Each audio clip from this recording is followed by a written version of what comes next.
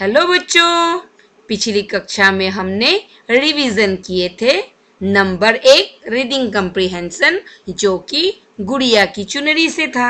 है कि नहीं बच्चों? आज हम फिर से रिवाइज करेंगे और आज किस पर करेंगे? नंबर दो रीडिंग कंप्रीहेंशन गुतरू कबूतर। हाँ बच्चों, गुतरू कबूतर कंप्रीहेंशन हम कर चुके हैं ना? आज आज उससे हम फिर से और एक बार रिवाइज करेंगे। आइए बच्चों, चलते हैं। तो आइए बच्चों, प्रश्न पढ़ लेते हैं।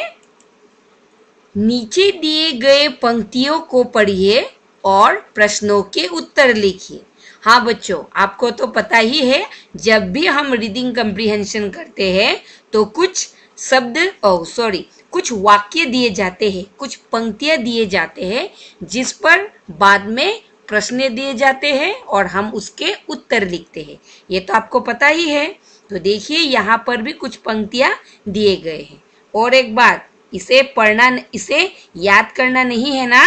सिर्फ़ पढ़कर समझना है इसे। ठीक है? एक कबूतर था, वो बहुत भूखा था।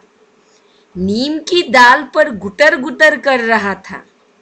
रुचिका एक दलिया लाई, अमरूद चीकू कीनू भी लाई। रुचिका दलिया रख कर चली गई। घर की खिड़की खुली हुई थी। गुतरू उड़कर भीतर आ गया। हाँ बच्चों, ये था प्रश्न के कुछ पंक्तियाँ।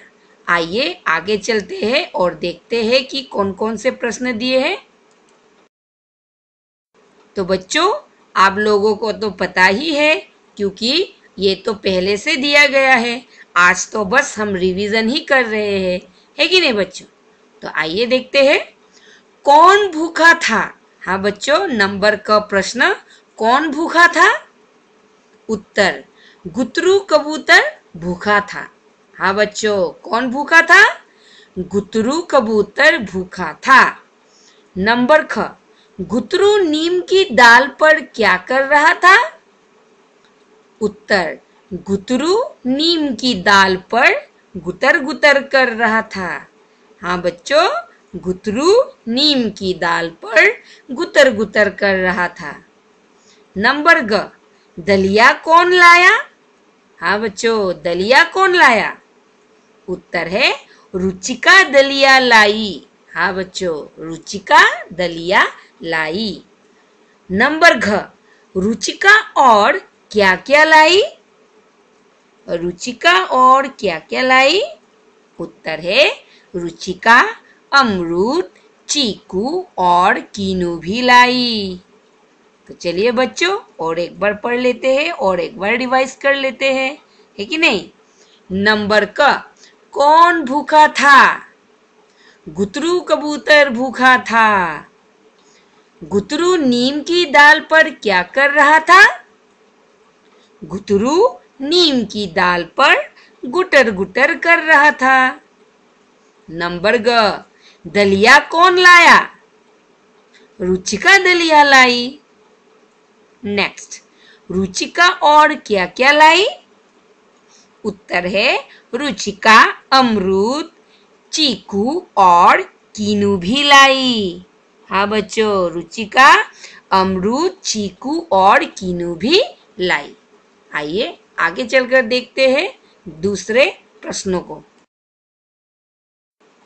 तो बच्चों, नंबर न गुतरू भीतर कैसे आया? हाँ बच्चों, गुतरू भीतर कैसे आया? गुतरू भीतर खुली हुई खिड़की से आया। हाँ बच्चों, गुतरू भीतर खुली हुई खिड़की से आया। रुचिका क्या रख कर चली गई?